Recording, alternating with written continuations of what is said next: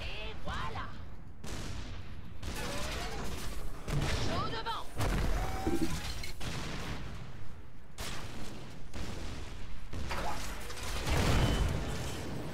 Absolument. Ah. Ah, je l'ai pas eu.